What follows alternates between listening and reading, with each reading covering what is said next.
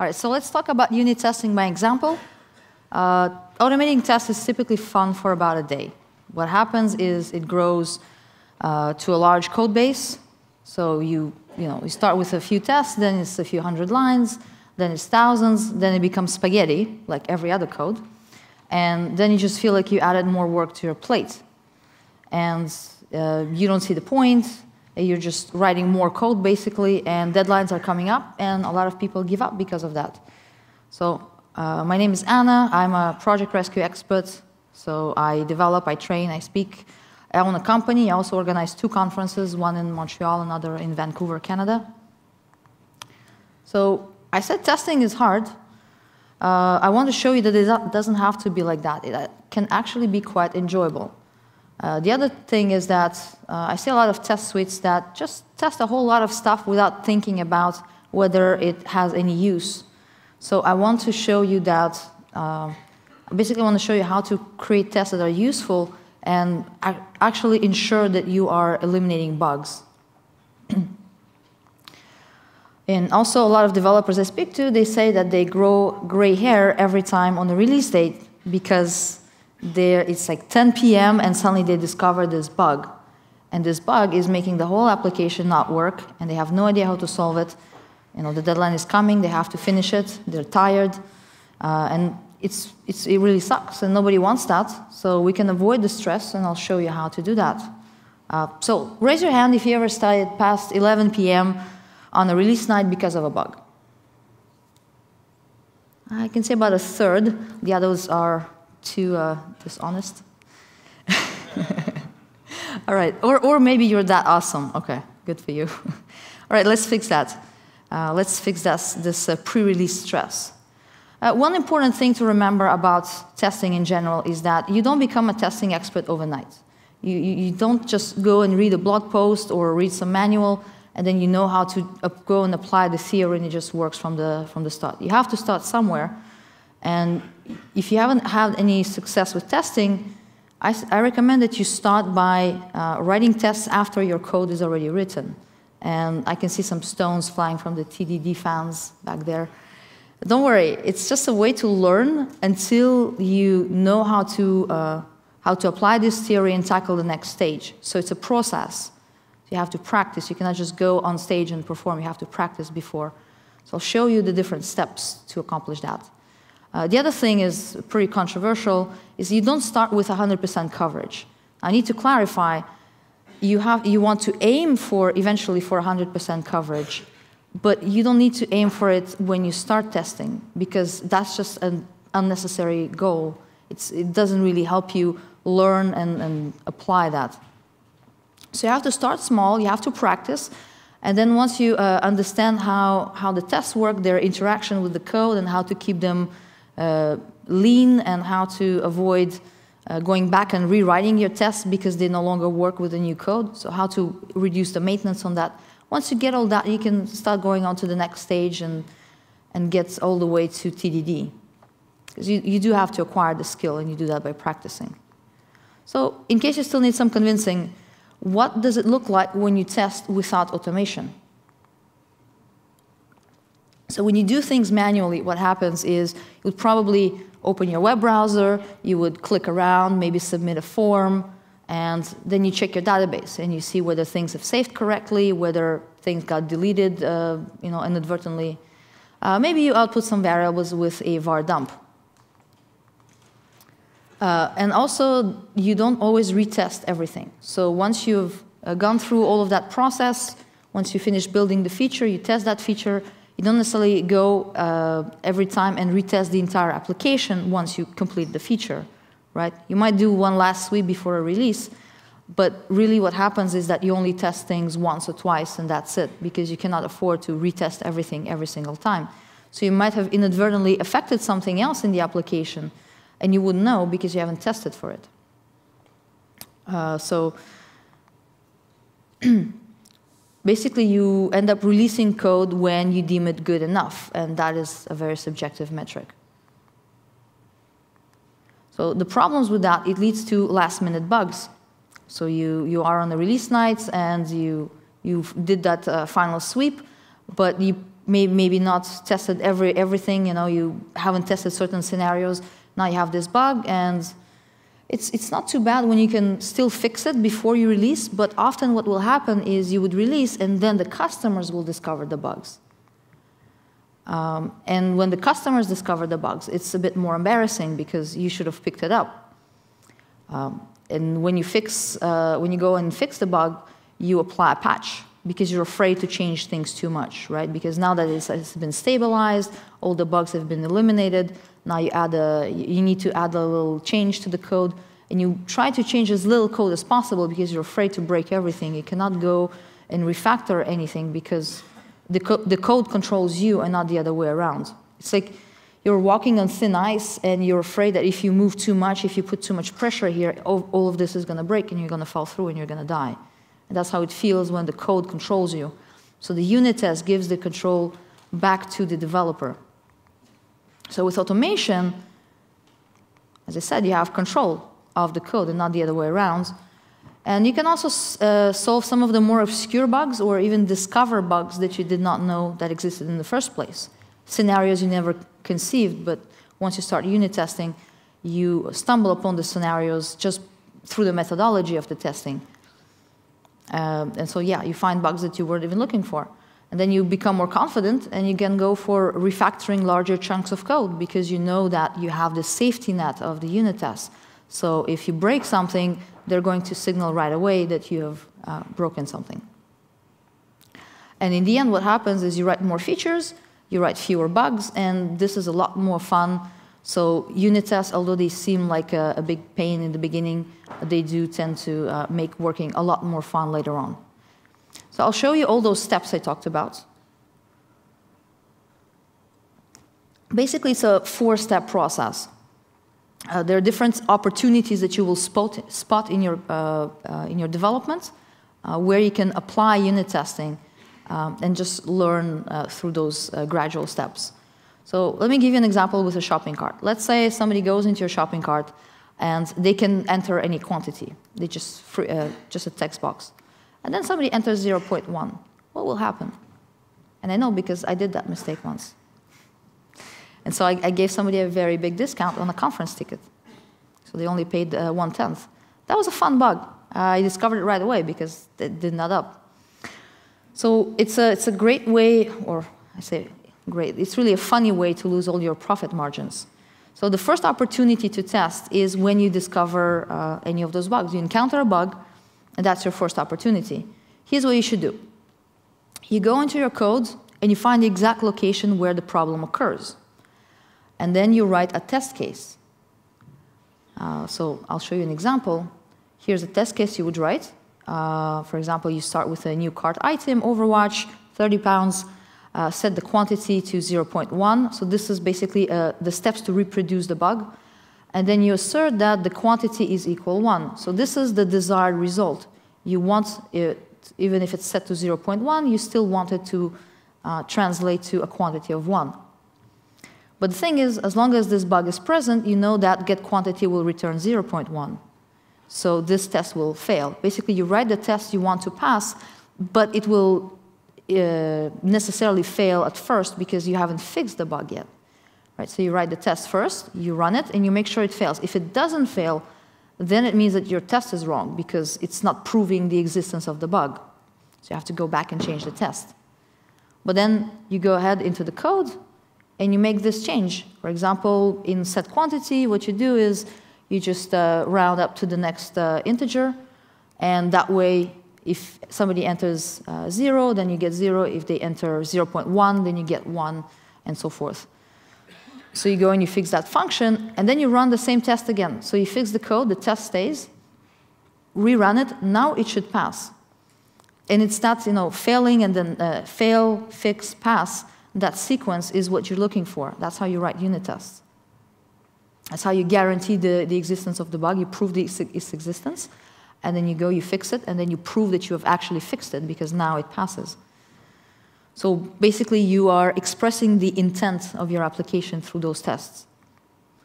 So, it, and it does sound very simple. Like, why would you test for something that you could have just, you know, var dumped like in, in a second?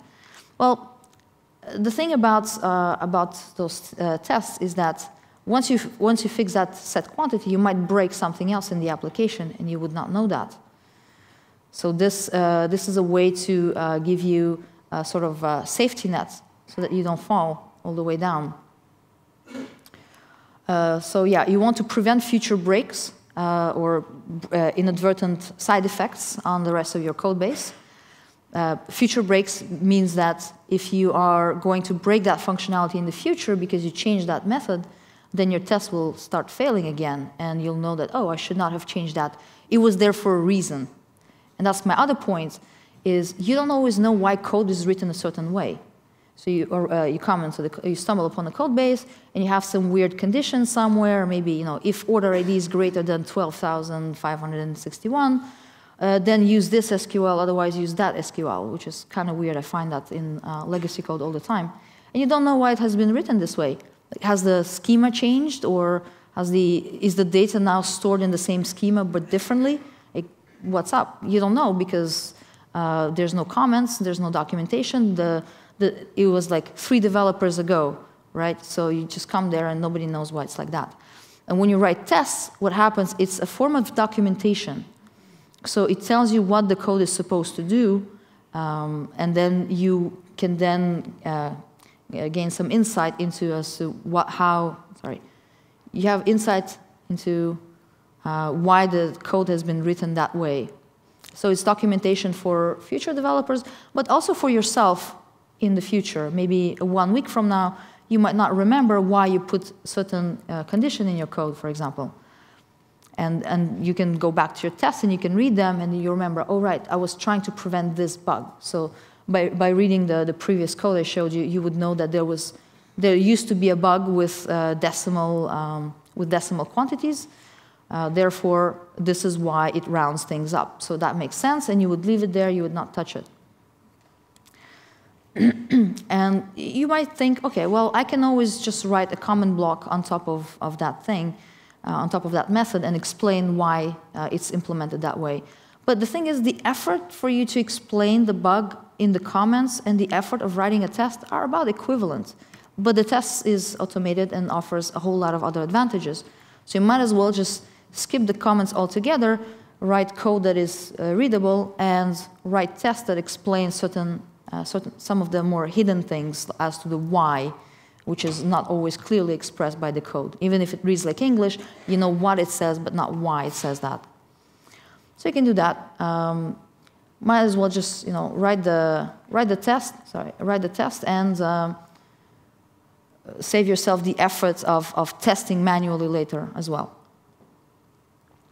And the thing is, if anybody later breaks your stuff, if you write a lot of these smaller tests, if anybody breaks your stuff, you'll know right away because you run the suite and then suddenly it explodes and you realize, oh, uh, I just uh, I changed someone else's code that I didn't know it was supposed to you know prevent so, so some bug. So basically, you get two for the price of one. So what we what we have here, what we wrote, is a regression test. So regression testing is basically making sure that uh, whatever you fix today does not break tomorrow. So it's to prevent regressions, basically, so that you progress instead of regress. So you can only move forward, you cannot move backwards, because you have these tests that prevent you from, from moving backwards. So that was the, the easiest way to write a test. There's another opportunity when you are improving existing code. So when you, when you make changes, uh, for example, we want to, uh, what was that example? So we want to give, uh, for example, free shipping for orders that are over 40 pounds. So if you buy over 40, uh, then you should get uh, zero shipping. So what we do is we put uh, two items that cost 30, uh, so that will bring the total to 60, therefore higher than 40, and you should receive uh, free shipping. but the code doesn't do that yet. The code always has shipping fees. So what happens here is that um, when you run the test, it will fail. Then you go and you change the code. You change the code by adding a condition where you say, uh, you know, if subtotal is greater or equal than 40, return 0, otherwise return 15. And once you make that change, instead of just returning 15, once you make that, the test will pass. But you have to test both cases because if you make a mistake somewhere and you inadvertently give free shipping to everyone, that's not fun either. So always think about, so if you have a condition there, you have to test both cases. So the second case is uh, same product, but only once, one quantity, and you assert that you get uh, 15 uh, shipping.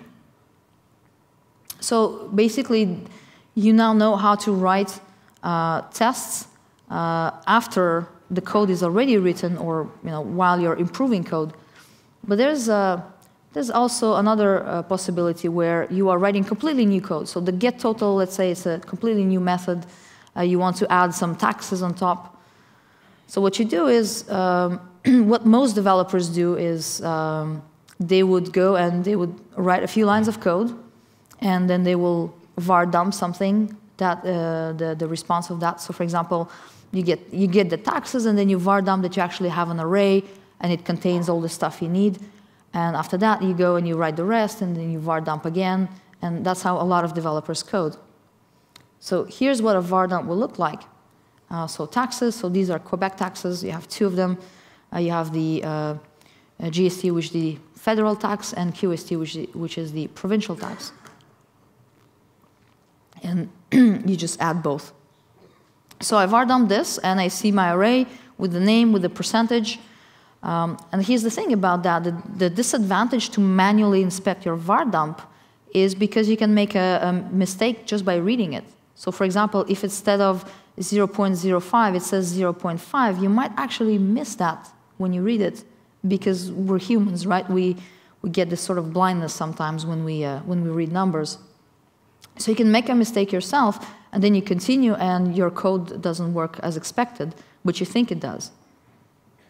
So you can't really trust yourself that much.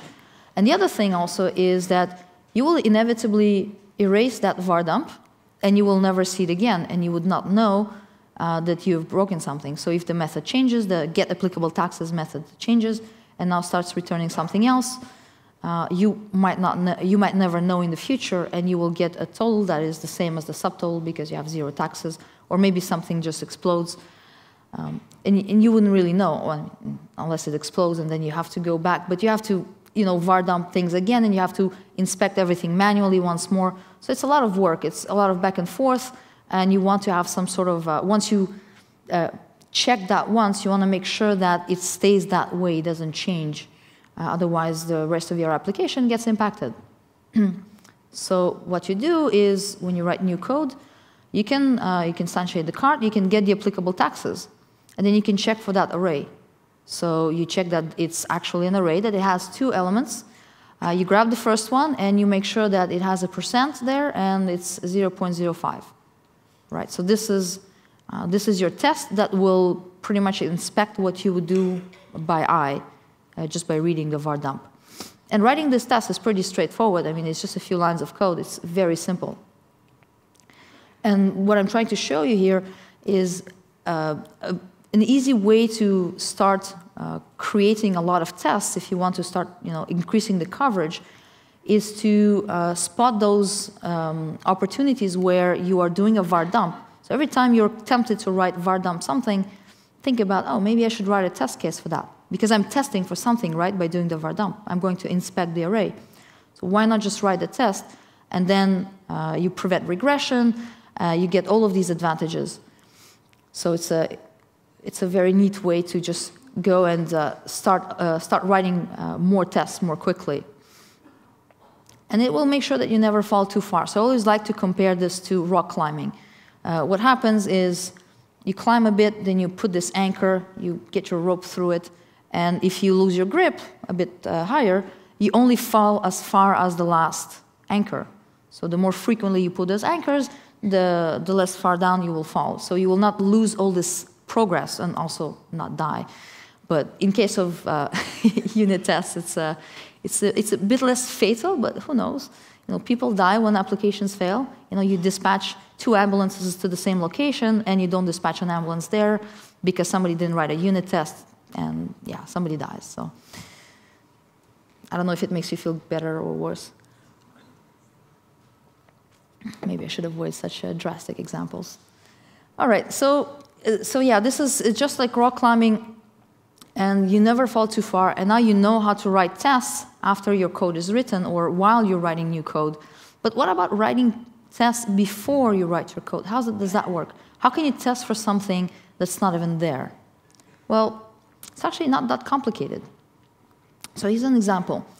Uh, remember, we're writing an e-commerce application, right? We have a shopping cart, we have a catalog of products, and those products maybe arrive to you from a CSV file. So somebody's going to do an Excel spreadsheet, they're going to export it to CSV, send it to you, and now you have to import it. All right, so you have to write this new tool to import it.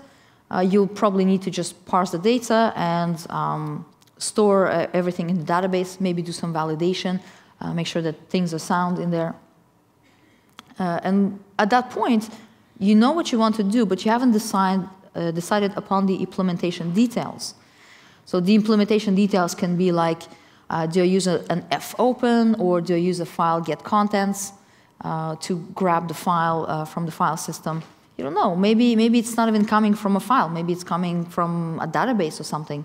It doesn't really matter. All you know is data is supposed to come from, from somewhere.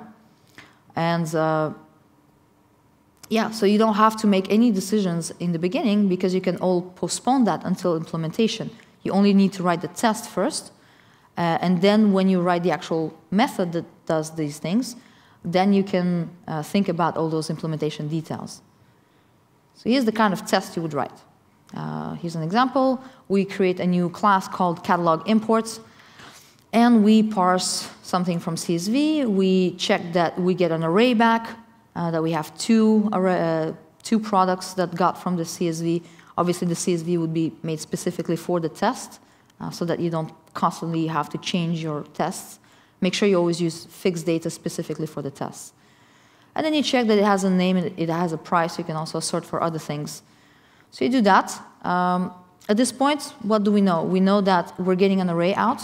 Uh, we know that we're supposed to have a file somewhere ca called catalog.csv. We don't know exactly where it is or how we're reading it. Uh, but you can already write this test because you know what, what you're trying to do. You, you represent your expectations. This is what you want your software to do. You want it to accept a string with a file name and you want to spit out an array. That's all you need to care about. And now what you're going to do is you're going to write just enough code to make this test pass. And when this test passes, you have finished writing the feature you wanted to write. That's it. That's it.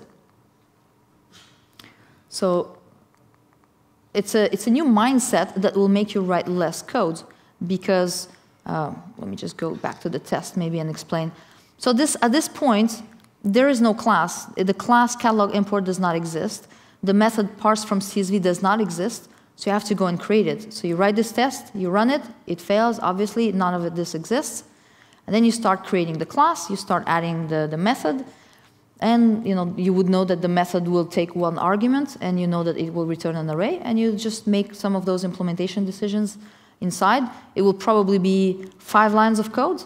Okay, your your in the end your code will probably be shorter than your tests, because the tests they kind of force you into writing just the minimum necessary to make those tests pass.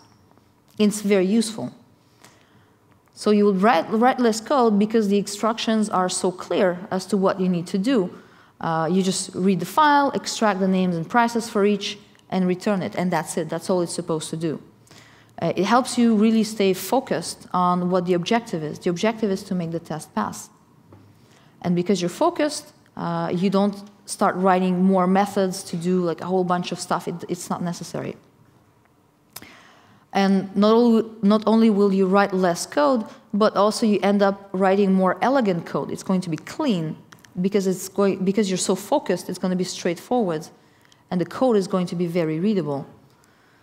And as a bonus, uh, it's going to be working right away because once the test pass, well, you don't have a bug, right? I mean, you can think of other scenarios later on, but at least you know that this code is passing, so you don't have to spend so much time debugging it later. Uh, right. Uh, some things to consider. It's not just, uh, you're not supposed to just test how it's supposed to work, but also make sure you test how it's not supposed to work. So think about all the exceptions. Uh, so let's say, let's say you have a shopping cart that stores data in a session. Okay, people come in, they they go and they um, they add an item, and then it goes into the session, the quantity. You then calculate from that session. You can calculate the total and display it uh, to the user. But what happens if at that time uh, price changes? The price of the item has changed, so it's no longer sold at the price it was before the checkout, but it's, it's already in the session. What will happen? Will you just stealthily charge the person the new price, which might be higher, and risk losing your customer in the future? Uh, because if it's 30 and then suddenly it's 40, uh, you can just check out. So you have to think about those scenarios. Uh, so these, you know, plan for all these exceptions. Uh, then you would, or you could, for example, uh, say, you know, we can no longer um, we can no longer process this checkout because the price has changed. Maybe you would have a process where you say, "Do you accept this new price? Is that does that work for you?" Which is what most uh, uh, online webs uh, online um, travel agencies they don't do. If the price has changed, you have to redo the search. But I mean, I still want the same flight. I don't care. Okay, the price increased $100. I still want that flight. Uh, but no, they, they make you refresh everything. So it's a decision, it's a business decision you can make. But at least you should plan for those things and not allow people to check out if something becomes unavailable suddenly, because that would make no sense. So let's say you deactivate the product, so now it's, you know, in the database it says is active equals zero. Therefore, you're not supposed to be able to check out anything that is no longer available, or maybe it's out of stock, or any other exceptions you can think of. So you can write tests for all these things and prevent those scenarios from occurring. So you have to plan ahead a bit.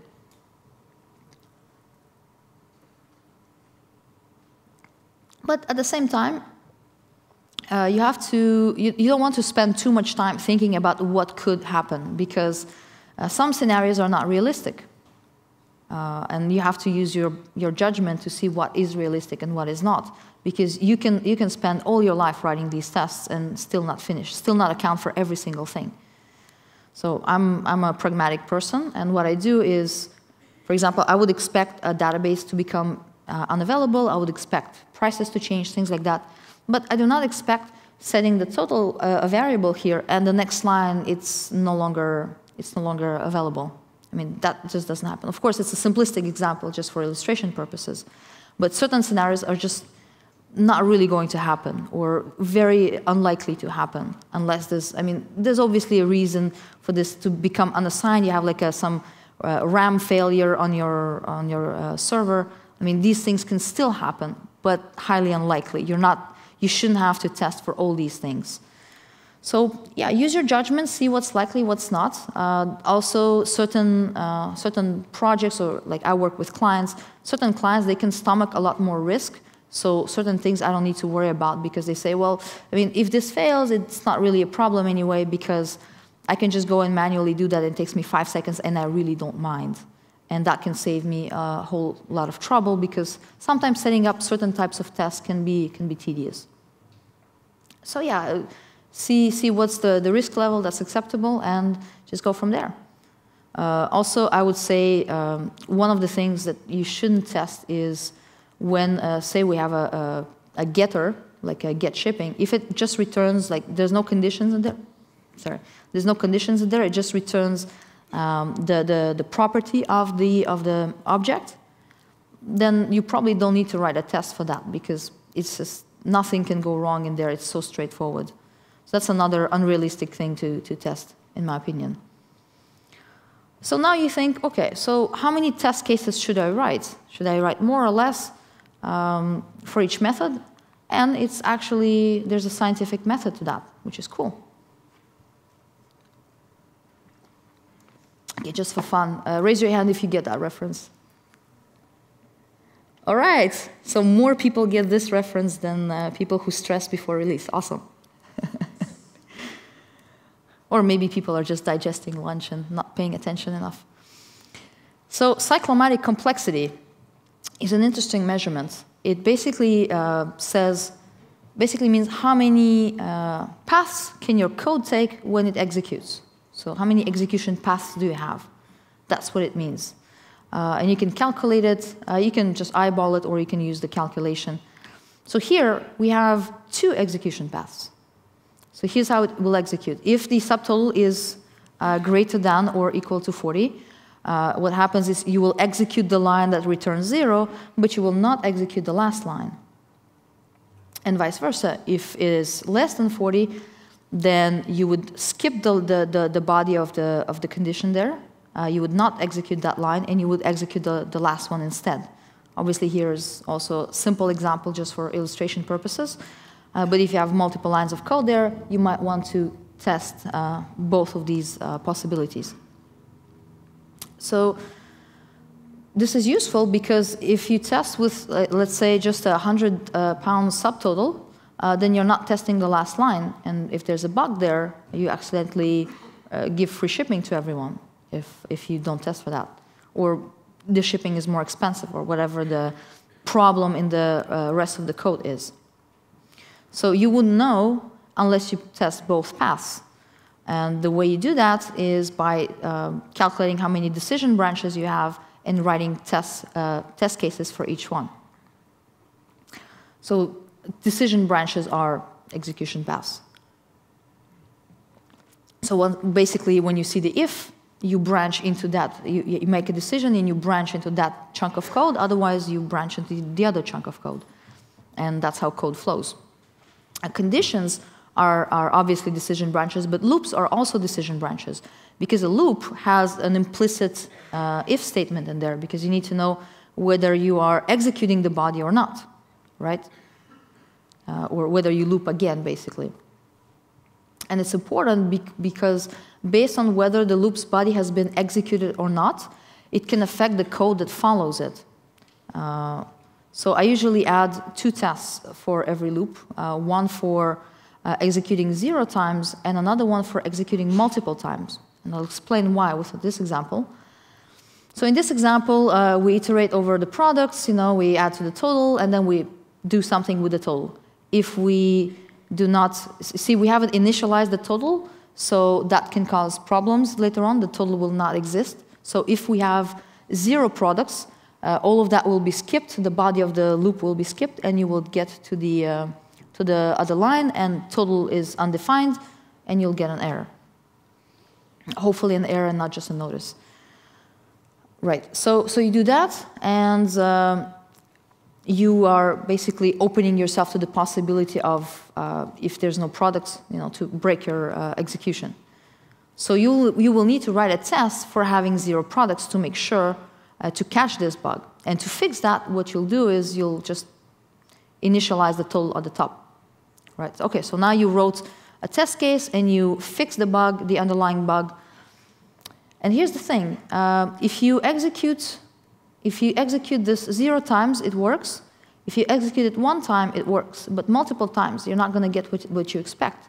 Because for those who might have noticed, and I don't know if I can point here, it says equal. It's not plus equal.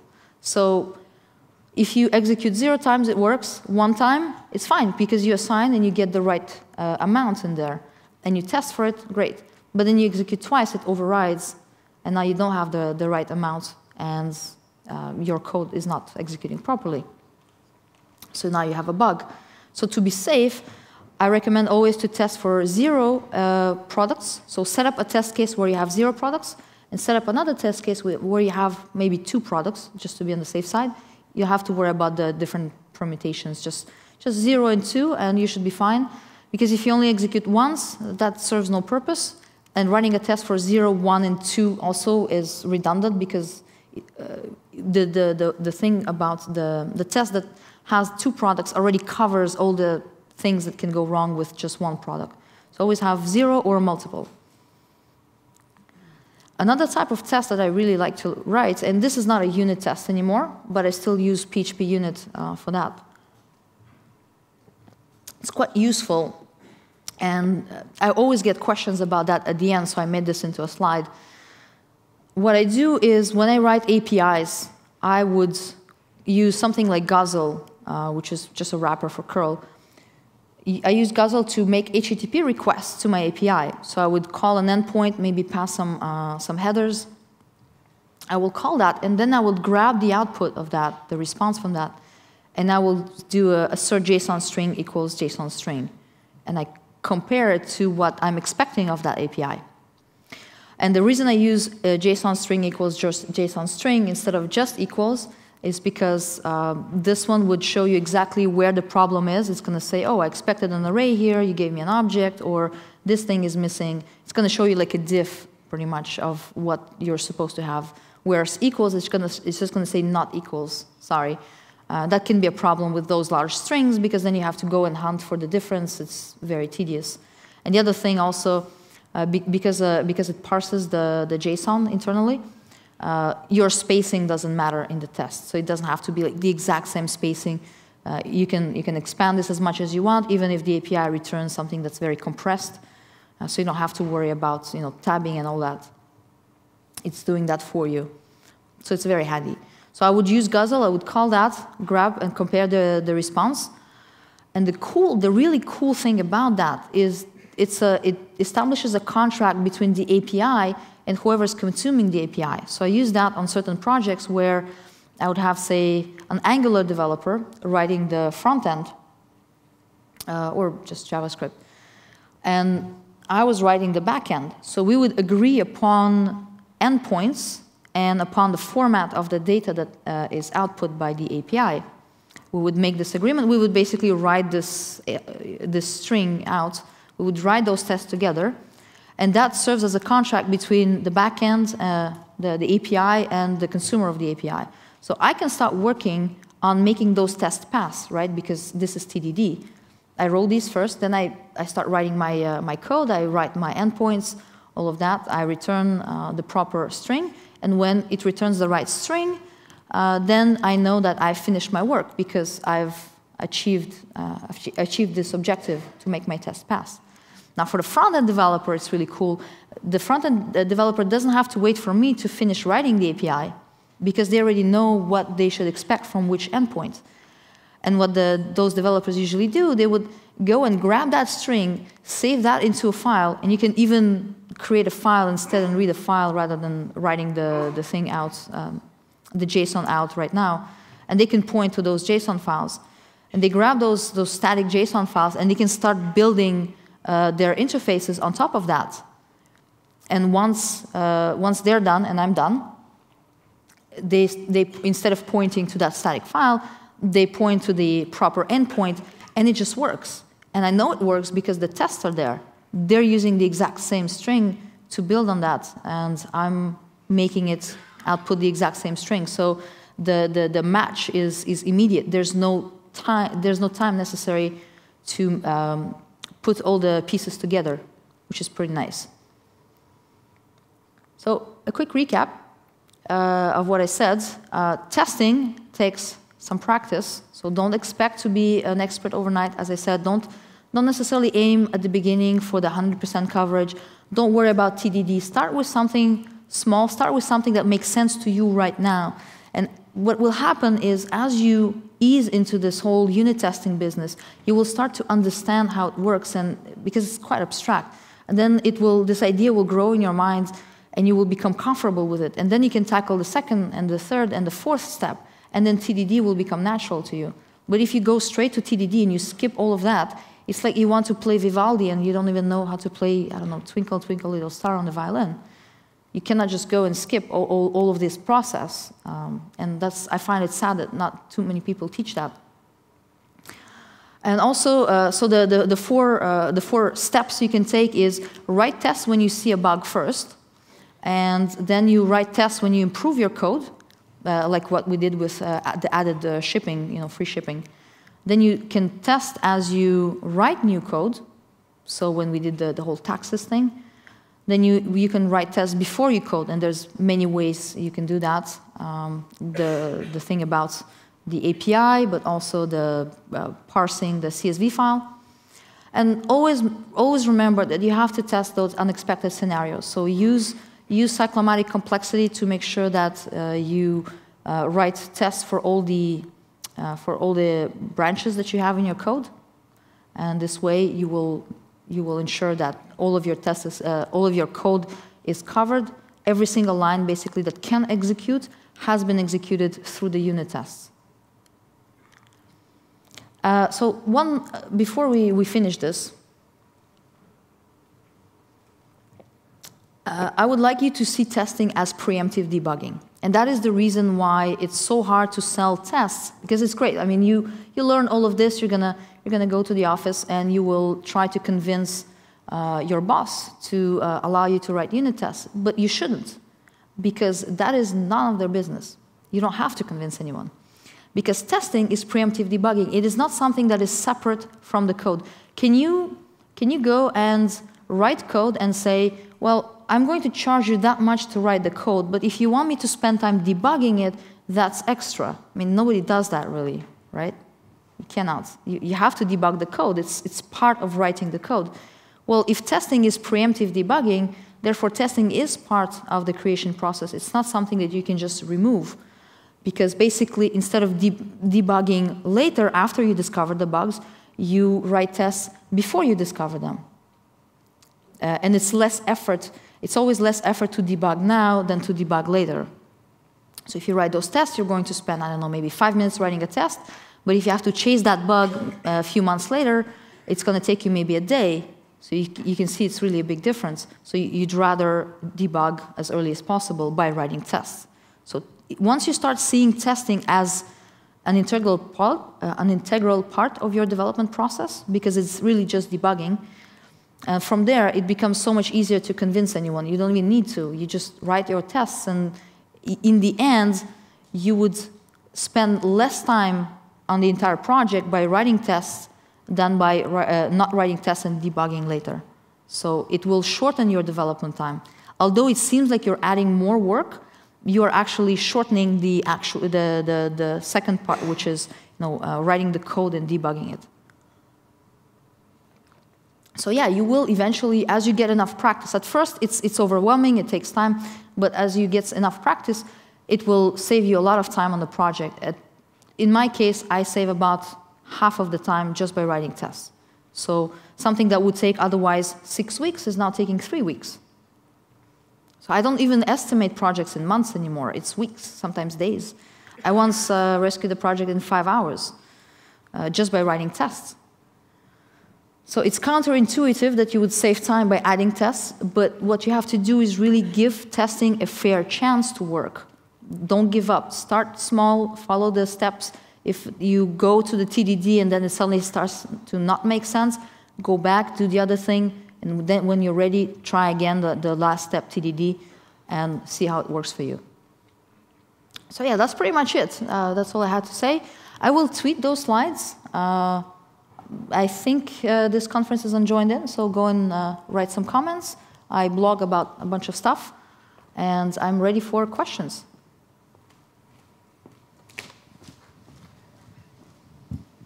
Hi.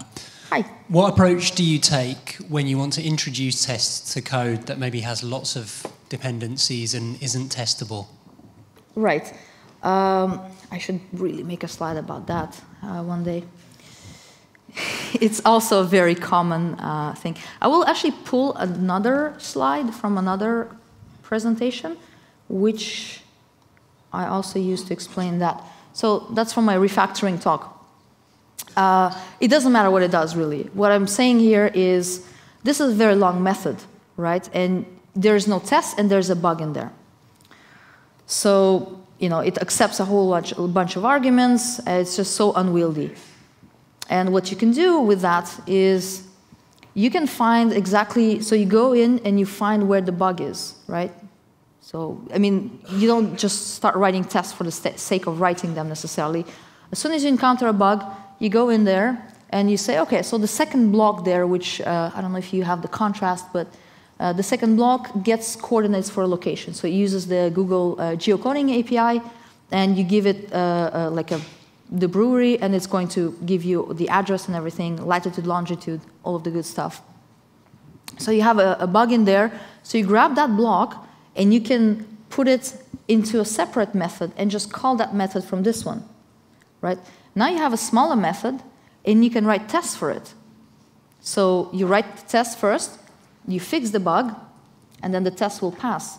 And that's how you can start, uh, instead of worrying about unit testing this whole method, you split it into smaller chunks, at the same time refactoring your code and making it more testable. Uh, I've seen, so this is, this is actually pretty simple, but code that I cannot show uh, due to a contract that I had with a client had a method uh, with 2,000 lines of code. And I found a bug in there that was just a small chunk, and I just put it, put it outside in a separate method called that, unit tested it, and this, this is a bug that will never happen again, I know for sure. Does that help?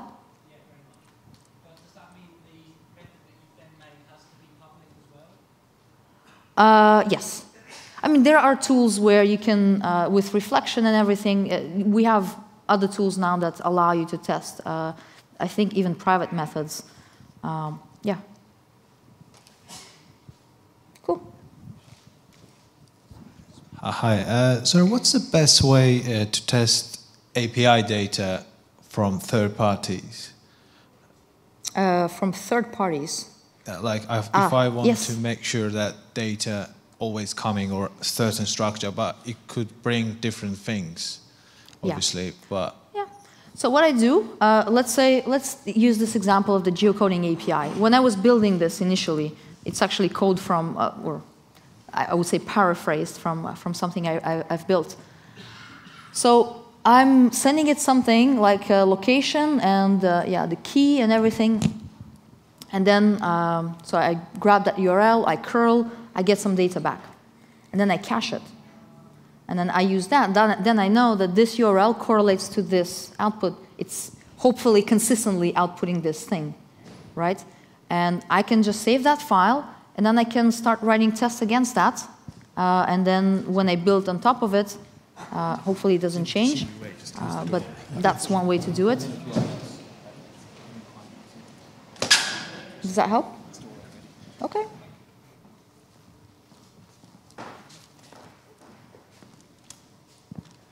Hi. Um, you mentioned not to go to your boss and tell them you're going to start unit testing. Um, but in order to understand a problem, you normally need to understand the business requirements for that.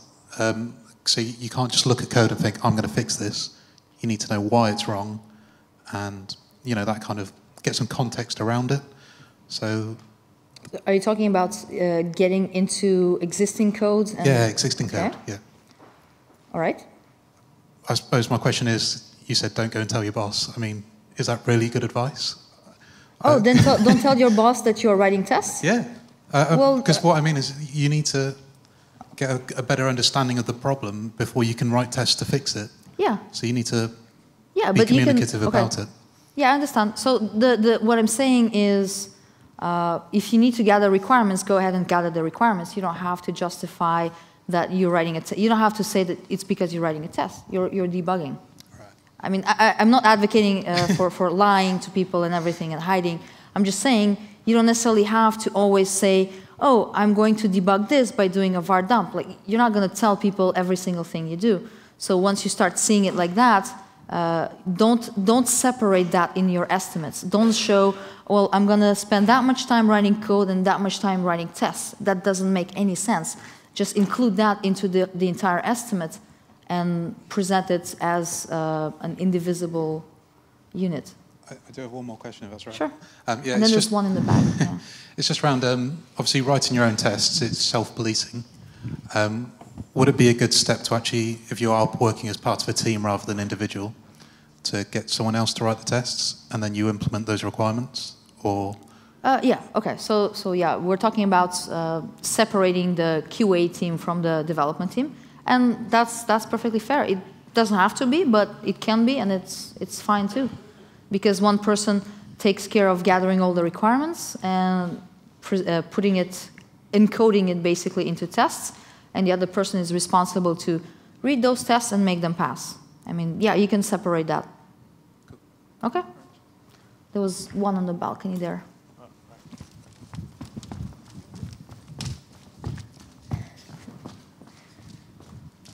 Hard to see. Hi, so um, our mocking libraries, would you use mockery, Phake, or PHPUnit's native way of mocking objects?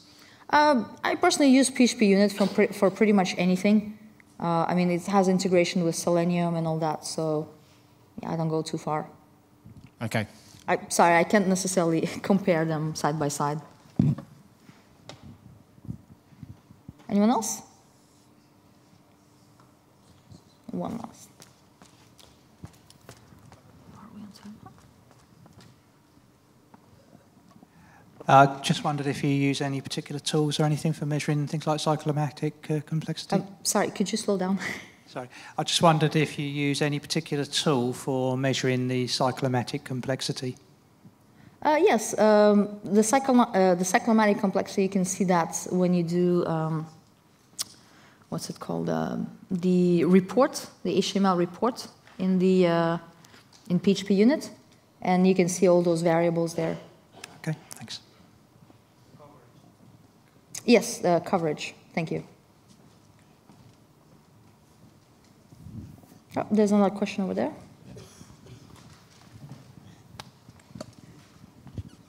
Hi. Obviously, when we're talking about unit testing, to isolate systems, we often mock dependencies so that we're only testing the system we're concerned with. I think my issue that I've experienced with multiple dependencies and mocking is that you get caught up with your test is very concerned with the implementation of the system you're testing because it needs to know what methods are called on those mock, dependent, mock dependencies. Mm-hmm. And so you inevitably end up, when you're refactoring, even though the expectation of whatever you're testing hasn't changed and the output and input hasn't necessarily changed, the implementation has changed. And because your test is so concerned with that implementation, you end up having to maintain several tests and have to, every time you refactor even a small bit of code, you end up having to change multiple tests. And I, for, for, like trivial things like if maybe you called a method on a dependency that you've mocked uh, twice previously, but now you've refactored a small bit of code and you're, mm-hmm. you're now storing that to some variable and you're only calling it once, you now need to update your test and say, I should only expect this method to be called twice. So it seems counterproductive when you're refactoring, if you've got large test coverage and you have got you've separated loads of concerns, so everything's being injected by dependencies as, as we all feel it should be. Um, I just wanted to know what your approach to handling that kind of system is when you, your tests are no longer you're no longer maintaining your tests for the sake of finding bugs, but simply because you're having to get them to pass because you're changing some implementation, though you're not you know for a fact you're not introducing breaking changes because yeah. it, you, you, you, know by the nature of what you're doing. Yeah, of course. Yeah, and it's a big problem when you start mocking a lot. Uh, basically, mocking is you create dependencies in your tests, and they kind of become almost integration tests because you rely on these other methods. So if you start, if you get into a lot of mocks in your test case, then that's a that's a warning sign, basically. Uh, some of the ways to reduce that is to split as uh, your code as much as possible so that instead of accepting a dependency, they can accept something more basic like a string. Uh, so for example, I don't know, uh, this geocoding, I could either accept like a very complex class or I can accept, uh, so once I, I, decoded everything, I can have an object uh, that's very complex. Or I can just you know, provide a string with latitude, longitude, or, or just two numbers and try to use primitives as much as possible when calling methods, and that can avoid using a lot of uh, a lot of those mocks. Um, and yeah, just in general, having methods that don't necessarily depend or aren't concerned about dependencies as much. So in your object, instead of calling this some some dependency call method, you can maybe maybe that method can from a different one receive uh, the the raw data from the dependencies and then act, act upon it. I don't know if you understand what I mean. So for let's say you're writing a controller and you have the request object. So maybe instead of grabbing the request object and getting something out of it, you could have a method that just um, gets the, let's say you're concerned with the, a certain header from your request. So you grab that from the request and then you pass it to this other method that does the actual logic. Then you can unit test it much more easily without being concerned uh, with dependencies. So it's just a way to refactor things so that your methods aren't uh, concerned with the state of the object so much. Instead, you have a method that kind of puts everything together, which you don't necessarily need to test, and then that dispatches to the smaller methods that do the actual logic because you you only care about testing the logic really. And then you can have integration tests for the others, and those are a lot more high maintenance. Uh, so yeah, try to try to have your unit test as um, isolated from even its own object as possible. That's my approach. Does that help? Okay. There was a question up there? You raise your hand? No, that person's on the phone now, so all good. Maybe asking the Twitterverse. All right, well, thank you very much. Thanks for joining.